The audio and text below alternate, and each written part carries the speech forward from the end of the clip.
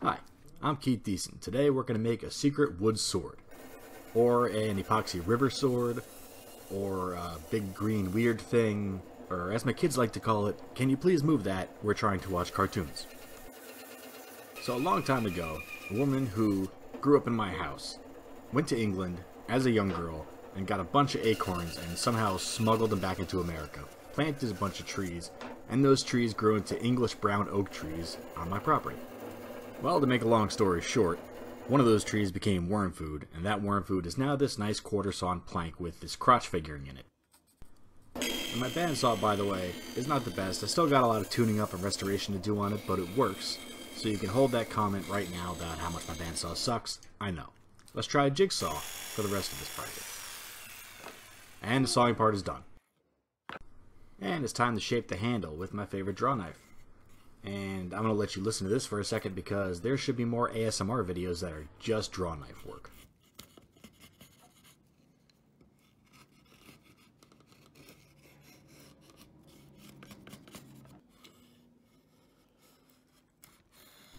I swear I could fill a whole channel with this and I'd be a millionaire.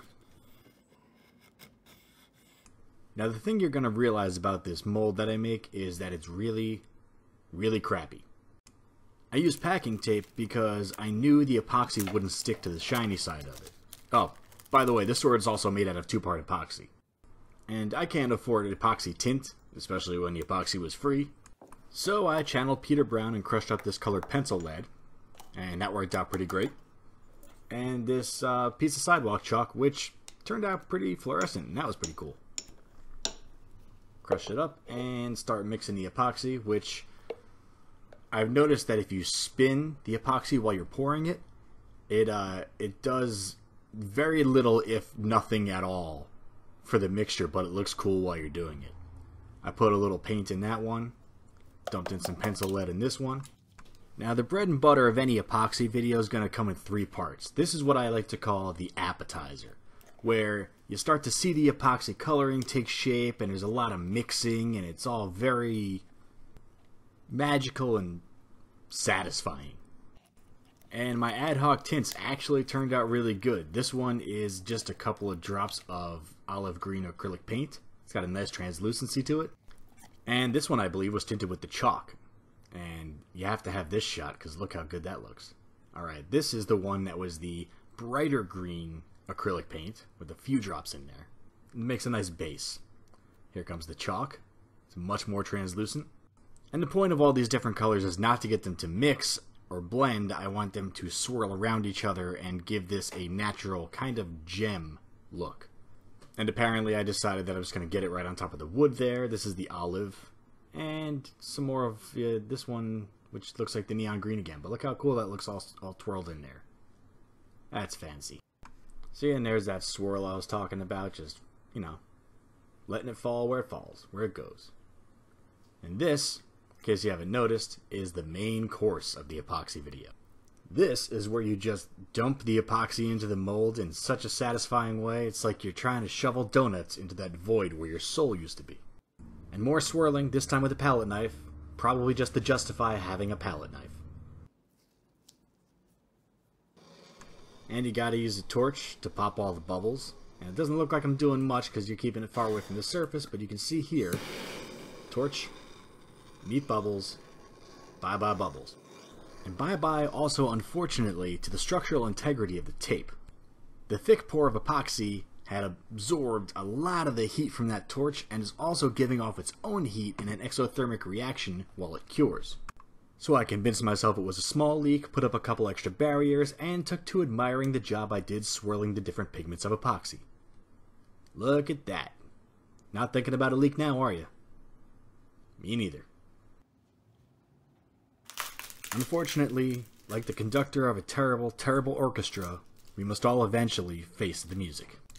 You see the tape underneath the part of the mold where it was not supposed to be touching the glass uh, completely disintegrated in parts, and because epoxy is exactly what it is, the whole thing bonded to the glass underneath. And why did I put it all on top of glass? Because I'm an idiot, folks. Because I'm an idiot. However, idiots do have more fun. And after I removed the glass with my very specialized glass removal tool, pried the mold apart, and managed to work through every childhood Christmas where I did not receive a Nintendo, it was time to show my bandsaw why I was unceremoniously yanked from retirement and put into my shop. Ah, listen to that baby purr. So the general shaping of the blade went something like this. I cut it shape on the bandsaw, here and there, put some angles on it, got that nice round tip going.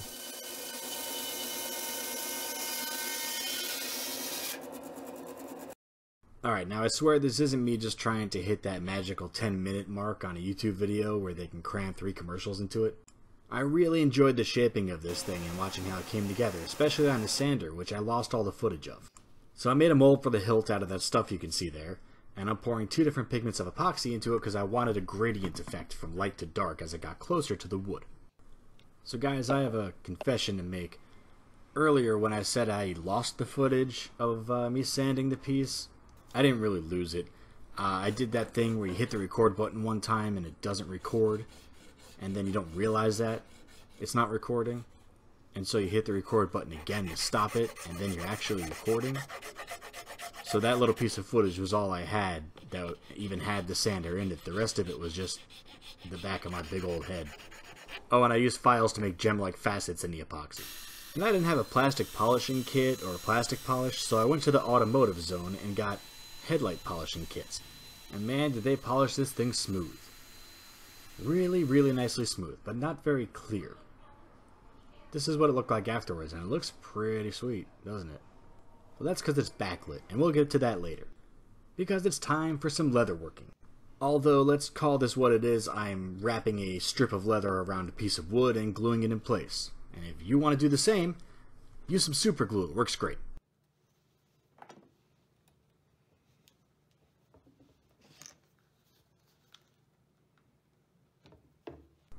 And by now I know that you know that I know that you've noticed that there is no pommel on the bottom of this sword. We will get to that, uh, because I realized that at about this step also.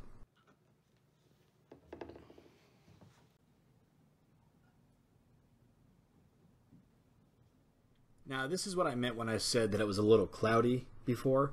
Uh, the thing looks great. Really in general looks fantastic, but you can see it's not exactly clear. It's a little bit weirdly matte.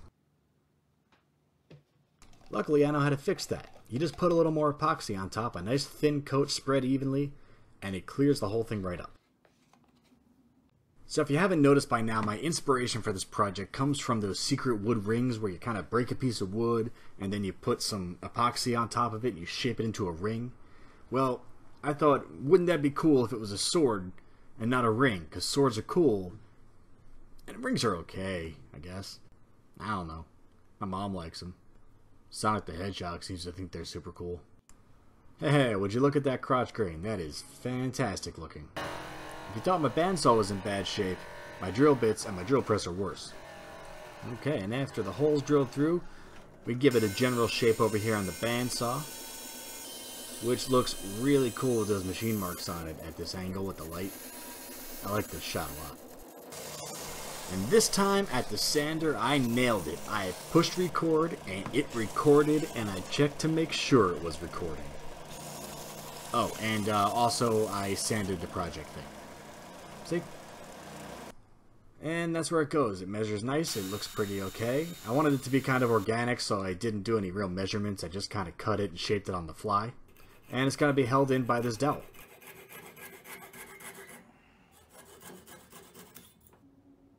Oh, and glue. The glue helps. So I mix up some epoxy pigmented with both chalk and colored pencil lead to pour as the jewel in the pommel. And you can see one of my original shape ideas for the hilt on this piece of plastic that I'm pouring over. And a little torchy torchy pop pop. Cut to the next day when it's ready to be installed. And we get it in there. Nicey nice. And we forgot to glue, so do we glue it. We get it in there. Nicey nice. Any day now. Yep, sure. Make sure it's clean. There we go. And I hope you saved the room because here comes the dessert. The beauty shots. And let me be serious here for a minute. I really do love the way this came out. It glows in the right light. Just look at this thing. That is tinted with stuff you can find at the dollar store. You can see the veins of that darker pigment running through naturally down the core of the blade. I'm to level with you. I don't get sent stuff, ever. Uh, Total Boat sent me this box of epoxy, and I hope I did it justice. I didn't even know what I was to make until the box arrived. So shout out to Total Boat for sending me some epoxy and letting me make this thing. The uh, requisite discount code I'm going to flash on the screen here, and it's also going to be down in the description if you want to get your own epoxy, make your own weird sword, and, you know, enjoy life. So subscribe if you liked it, and like it if you love it, and you know how this goes. Later, makers.